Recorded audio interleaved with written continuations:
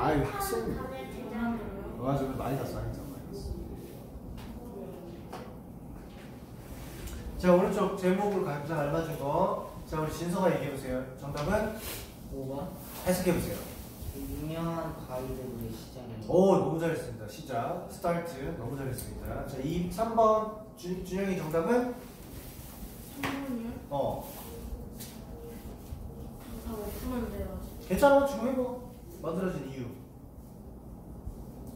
미슐랭 가이드 왜 만들어졌을까 여행을 촉진하는. 그렇지 정답 1번 너무 잘했습니다 자 우리 이쁜이 4번 정답은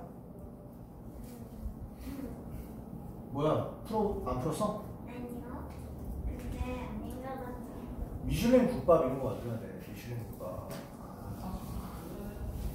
4번의 정답은 괜찮아 말해봐 답은 4번? 에이 무슨 타이어 정비 같은 소리 하고 있어 어, 이거 음식점이라는데 야 정답 몇 번이냐? 5번은 5번입니다 아 맞다 5번이죠 잘했습니다 자 오늘 주말이니까요 어, 아니 아, 돼. 많이 안 돼. 돼요. 많이 안 돼. 많이 안 되죠? 그래만 아니고 안. 안 돼.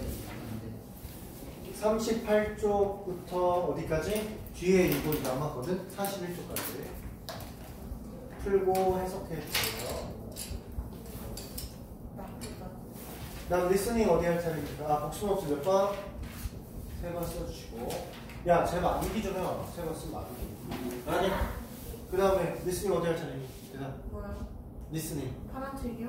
어 8, 50, 뭐가? 8, 어, 6가, 어? 5가가? 5가가? 5가요, 5가요. 5가 파란색 그러니까 5가 문제 풀이해보세요 문제 문제 맞아? 오늘 냈어 받았어. 뭐가 오늘 받았어요. 오늘 받았지. 문제 맞네. 5가 문제?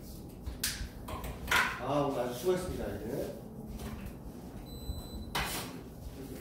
이게 나중에 이분에서 한번 선생님 이슈를 데리고 옵니다